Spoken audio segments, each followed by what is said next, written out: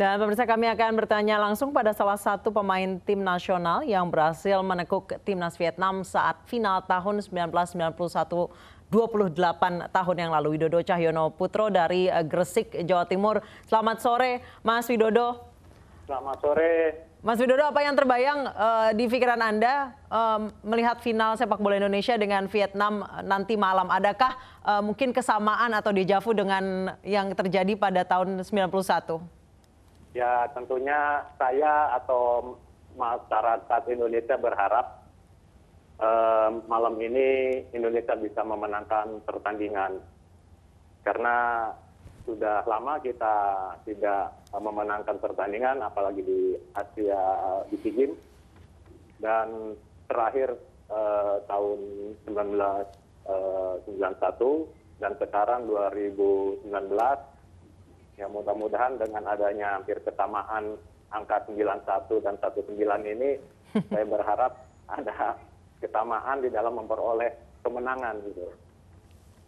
Oke, kalau kita bandingkan nih Mas uh, Widodo, tentu Anda juga mengikuti perjalanan atau kondisi uh, Garuda Muda saat ini. Kalau kita bandingkan, ada kesamaan tidak perjalanan Garuda Muda pada tahun 91, kemudian juga dibandingkan dengan sekarang. Kalau semangatnya tentu sama, atau bahkan mungkin terus meningkat. Selain itu, ada kesamaan apa lagi, Mas Widodo? Uh, ya mungkin uh, di dalam fighting spirit ya, uh, melihat adik-adik 23 ini memang fighting spiritnya yang sangat luar biasa di bawah komando Coach Indra. Uh, saya tahu, saya kenal dekat dengan Coach Indra bagaimana dia menyatukan karakter-karakter dari beberapa daerah menjadi kekuatan yang luar biasa. Jadi saya yakin, saya berharap kita berdoa semua untuk malam ini mudah-mudahan uh, kita bisa uh, mengambil emas. Uh, Mas Widodo, uh, di 28 tahun yang lalu, tahun 91, saat itu uh, Garuda bisa mengalahkan Vietnam dan berhasil meraih medali emas. Anda masih ingat seperti itu waktu itu seperti apa perjuangan dan dramanya ketika itu? Uh, waktu itu memang uh, kami ditempa ya selama hampir tiga bulan oleh pelatih Anatoli Polosin yang sekarang sudah almarhum.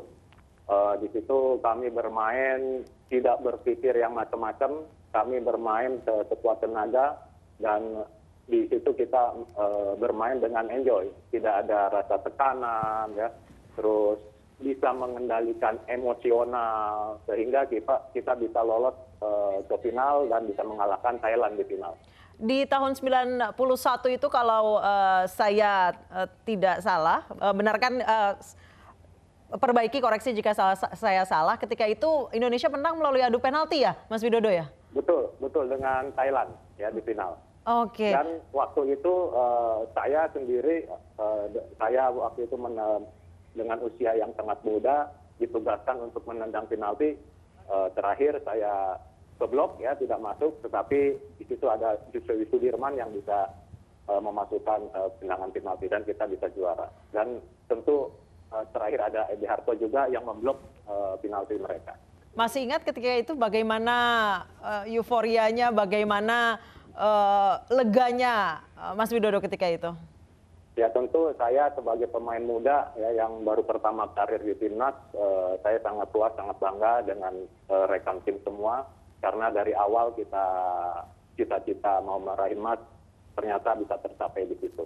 Dan, Oke, Mas Widodo, uh, kalau ya. kalau perkembangan dari uh, timnas Vietnam ini dari tahun 91 ke tahun sekarang ini 2019, apa yang harus diantisipasi oleh timnas Garuda Muda untuk pertandingan malam nanti, kekuatan yang harus diantisipasi oleh uh, timnas kita terhadap Vietnam, Mas Widodo? Uh, tentu saat penguasaan bola dan uh, attacking footballnya mereka yang memang kita harus uh, antisipasi itu dan counter attacknya mereka. Saya yakin Coach Indra sudah tahu itu dan sudah mengevaluasi bagaimana di semifinal kita menghadapi mereka. Kalau evaluasi dari babak penyisian kemarin sempat kalah kita 2-1 dari Vietnam, apa yang harus dievaluasi dari pertandingan tersebut? Uh, tentunya satu ya menjaga emosional ya uh, kedua tentu uh, instruksi pelatih harus lebih uh, dijelaskan atau uh, lebih uh, instruksinya di apa uh, oleh pemain-pemain itu dilaksanakan uh, dengan dengan sangat uh, semangat Baik, terima kasih uh, Mas Widodo Cahyono Putro. Kita semua berharap uh, Garuda Muda bisa pulang dengan medali emas ya.